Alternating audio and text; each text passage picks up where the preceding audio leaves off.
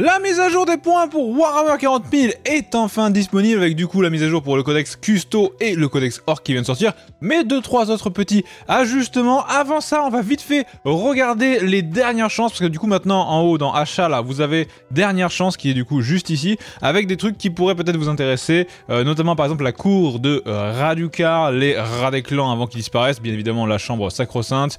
Euh, bon bah ça si jamais vous le voulez, hein, je l'ai personnellement en, vrai véritable chez moi et moche.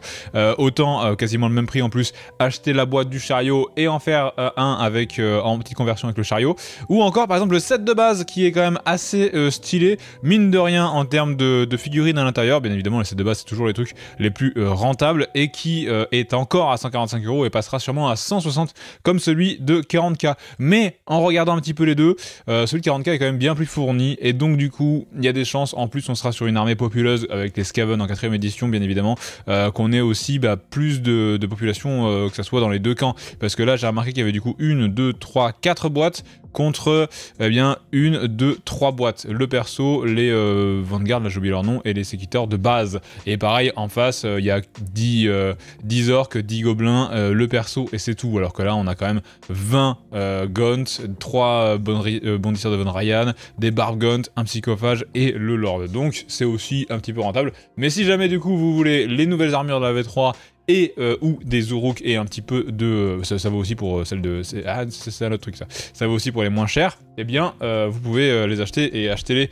vite parce qu'après ça va disparaître. Et du coup pour calmer aussi un petit peu les craintes on voit beaucoup de avant-garde qui sont épuisés en ligne. Ne vous inquiétez pas c'est juste une histoire de nom et de boîte en fait les avant-gardes vont devenir les fers de lance, spearhead en anglais, et donc du coup, la seule et unique différence, ça va être le packaging. L'intérieur va rester exactement le même. Pour euh, info, une, boîte comme ça, donc une Vanguard, va devenir une euh, fer de lance, juste ici, ça arrive, voilà, avec du coup écrit Spearhead au lieu de Vanguard, mais ça sera exactement les mêmes. Ces boîtes-là, elles ne changent que une seule fois par édition, et à chaque fois, c'est à la sortie du codex ou Battle Tome attention à l'index, ça ne compte pas. Donc là, en, v, 4 on va avoir tous les Battle Tomes qui sont remplacés par des index. Aucun ne verra sa boîte changer. Les deux premières boîtes qui vont changer, euh, ça va être, bah, en final non, parce que la, Stormcast, elle est toute neuve. Donc je doute qu'elle change, mais c'est pas impossible qu'elle change, mais j'en doute. Par contre, la euh, Skaven, elle, elle va changer avec des nouvelles euh, figurines de la, de la quatrième édition, tout ça, tout ça. Et du coup, bah, par exemple, la Idonet, celle qui est devant nous là, elle changera que quand le Battle Tom Idonet sortira avec au moins une nouvelle figurine, voire plus. Et euh, là, elle changera avec, bah, on sait pas quoi, à l'intérieur. En attendant, elle est épuisée en ligne, donc vous pouvez pas la commander maintenant, c'est dommage, ça fait chier, mais ça va revenir très très très très vite. Et au pire du pire du pire du pire des cas, ça revient au tout début de la quatrième édition, avec du coup le format Spare Head, etc. etc. Donc, Warhammer 40 000 euh, avec du coup là euh, les points euh, mis à jour. Mais il n'y a pas que ça. Il y a pas mal de trucs qui ont été revus aujourd'hui 25 avril jour d'anniversaire de mon papa. Eh bien on a en français que la plaque de données d'équilibrage et l'inventaire du Minute Room. Alors la data slate j'avoue j'ai eu du mal hein, parce qu'au début j'étais là et j'ai fait ça j'ai fait ça j'ai fait ça j'ai fait putain mais attends là je, je, clique vous voyez pas mais je clique entre les deux et je voyais pas le changement. Après je suis descendu je suis allé là comme ça et là j'ai vu le, le, changement et en fait en faisant comme ça je dis ah ça bouge.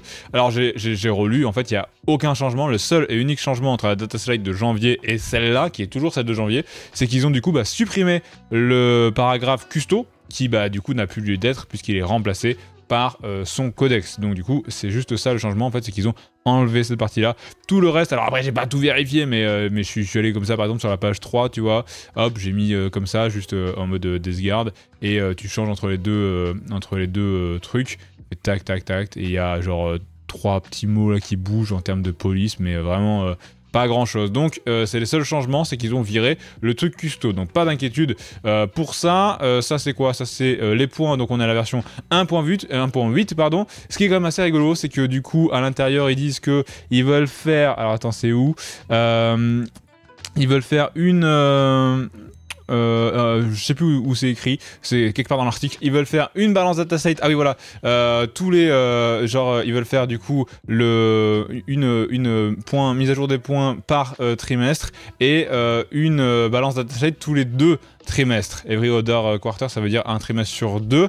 et du coup, c'est assez rigolo parce que une mise à jour de points euh, par trimestre, genre, enfin majeur, je veux dire qu'ils entendent parce que au final ça fait même pas un an et donc du coup on est à 4 trimestres par an, on a la version 1.8 donc du coup c'est un peu raté quoi, on est à 2 par trimestre. Mais c'est sûrement pour tout ce qui est eh bien les, les, mises à jour. Donc après, bon je suis pas allé comparer tous les points à droite à gauche, je vous dirais juste que bah il y a des trucs qui sont en rouge, ça c'est bien hein, qu'on avait déjà eu la dernière fois, qui vont baisser de points et d'autres qui vont augmenter. Ne vous faites pas avoir par le custo qui, alors bon je le tiens d'informations sur de commentaires Facebook, mais qui euh, apparemment est full euh, réduction de points. Apparemment, c'est exactement les mêmes points euh, que pour l'ancien index, juste avant que, que, ça change pour ça. C'est juste qu'en fait, attention, c'est allé très très vite, vous l'avez même pas vu, mais on avait les points de l'index qui étaient les vrais véritables. Boum, c'est devenu les points du codex vrais véritables, mais il n'est pas encore sorti, il sort samedi, c'est dommage. Et ils ont déjà été remplacés par les vrais points codex véritables ici. Et donc du coup, en fait, ils baissent tous par rapport au point du codex qui n'est pas encore sorti, mais qui au final n'aura jamais été à jour. C'est 40k aujourd'hui, quoi.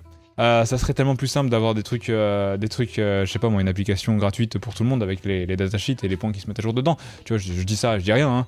Mais voilà, donc vous avez tous les points et c'est pour ça que c'est tout en vert. Apparemment, les seuls changements, et encore une fois, je répète des gens que je ne connais pas sur Facebook en commentaire, c'est le capitaine Rempart et euh, ou alors c'est non, c'est le champion des lames et Trajan, euh, Valoris bien évidemment. Ils ont perdu un poil de points, mais apparemment Trajan il se fait trop défoncer la tronche pour être rentable, même à 150 points.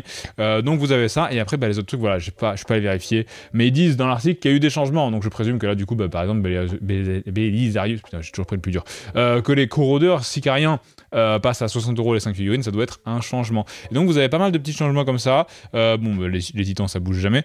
chez les Eldar, on on pourra noter qu'on a par exemple les, euh, les gardiens de choc et les gardiens défenseurs qui baissent. On va voir les Banshees qui vont baisser. Les lances étincelantes. Euh, avant c'était Shining Spear, puis lance, lance sentante. Shining Spear, lance étincelante. Mais ça s'appelle toujours Shining Spear. Chez moi, Shining ça veut dire euh, chanter, mais c'est pas grave. les scorpions, foudroyants, ils baissent aussi. On a par contre Fuegan, les armes d'appui ou les éperviers qui vont augmenter les éperviers qui sont d'ailleurs euh, on les voyait un peu partout, non? Euh, Je suis pas sûr. Non, on voyait surtout les dragons de feu de partout. Euh, pas mal de trucs comme ça. On a aussi des spectres qui vont changer parmi les, points de, Forge World. donc voilà, pas mal de trucs. Je vous laisserai aller voir. la Calidus, bien évidemment, qui prend, qui prend des points. Après, on la voit tout le temps. Dès qu'il y a une liste Imperium, euh, ou presque, on la voit.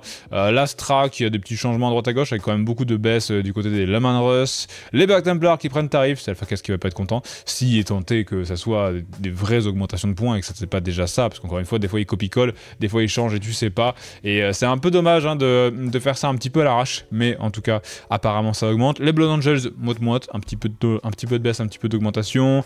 le démon du chaos, tout le monde s'en fout, du coup ça bouge pas.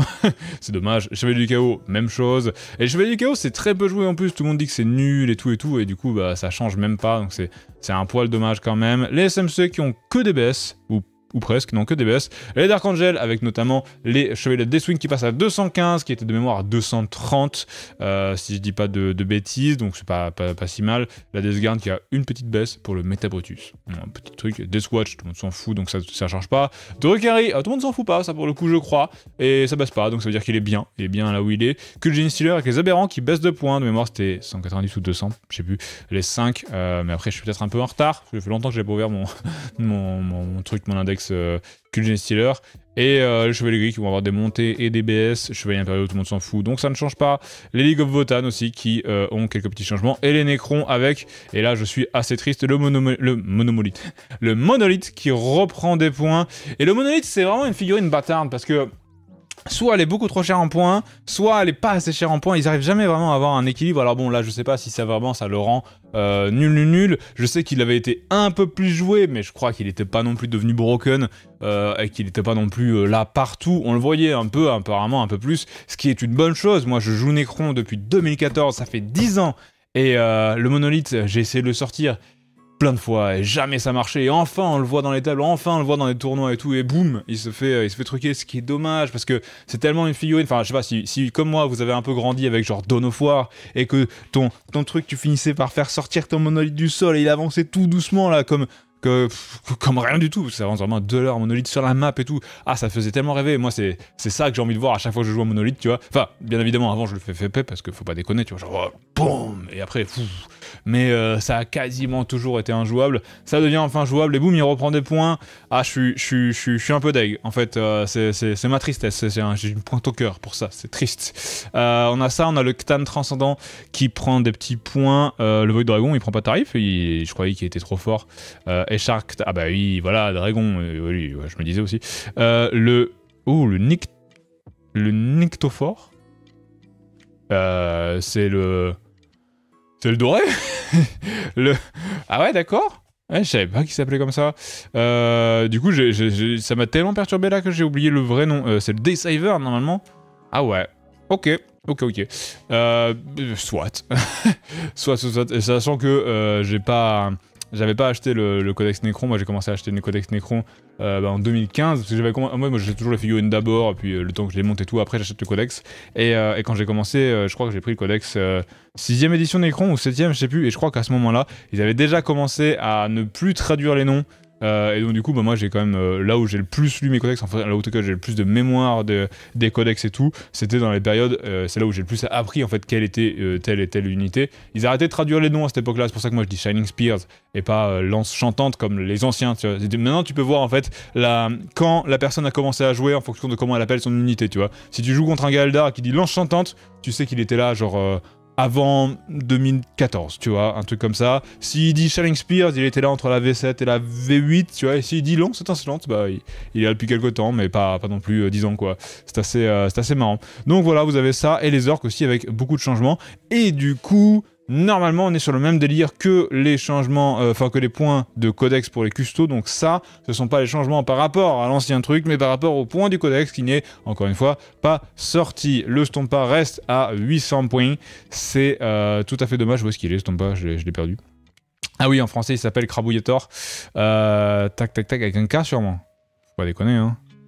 Copter, crabouilleur, crabouilleur. Euh, donc 800 points, c'est un poil dommage. Euh, il sera pas, plus joué, je pense. Mais bon, il est quand même euh, fort sympathique. Apparemment, alors bon, je, paraphrase une, vidéo de Spec Tactics, mais avec un petit détachement, quelques petits mecs et tout, tu peux peut-être en faire quelque chose. Mais, mais ça reste un petit, peu, un petit peu complexe. Donc voilà, il y a des changements un petit peu partout, à droite, à gauche. Et comme je vous le disais, bah, il n'y a pas tout qui est à jour dans la section Warhammer 40 000 download en français. C'est-à-dire que là, bon, tu as les Dark Angel qui ont été faits le 16 avril. Je vous l'avais pas dit ça, mais euh, petit. Euh, si je l'avais dit, je sais plus, je m'en souviens plus. Et, euh, et c'est tout. Ah si, les, la patrouille d'Archangel aussi qui date du 17 avril, qui a changé, mais par exemple, il y avait la patrouille Orc et tout ça. Et du coup, si tu le mets en anglais, bah là en anglais, tu as plus de choses qui changent. Donc, bah, même chose pour Balance of the Slate et Munitorum Field Manual. ça, du coup, il change du 10 avril, donc bah, c'est juste qu'on était en retard. Mais tu vas avoir aussi les Imperial Armour qui ont été revus, en tout cas pour les orques, qui sont juste ici. Il y a les Legends aussi, on a deux unités qui ont été revues, donc on a les orques. Qui... Ah oui, en fait, c'est parce que je l'ai lu tout à l'heure, j'avais oublié. Il y a des trucs de Imperial Armor Orc qui passent en légende malheureusement. Et donc du coup, bah, plus jouable en tournoi et tout, c'est assez dommage. Et donc du coup, bah, le Legend Field Manual, euh, donc les points pour les figurines Legend, euh, sont mises à jour également.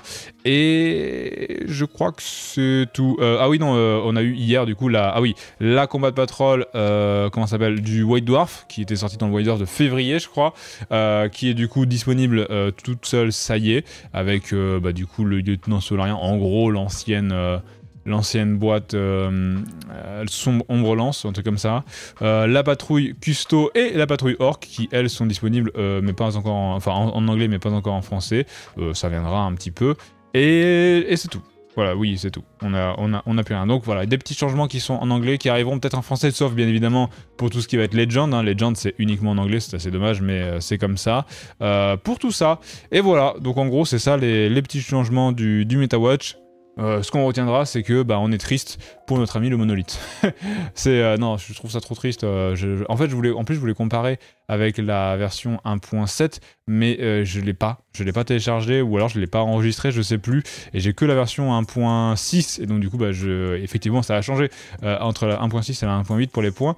Euh, mais c'est pour ça que j'ai pas pu vous faire une vraie comparaison et c'est pour ça que je, vous dis juste vérifier que ça que ça ait changé ou non. parce que bah, moi je suis pas, suis pas en mesure de, de faire la comparaison, malheureusement. Et voilà, pas d'article sur Age of Sigmar 4ème édition aujourd'hui. Euh, c'est assez triste. Moi, genre, il, commence un fanfare, puis après il ralentisse, et puis après on va refanfarer euh, à partir de la mi-mai, ou peut-être du début juin, un truc comme ça.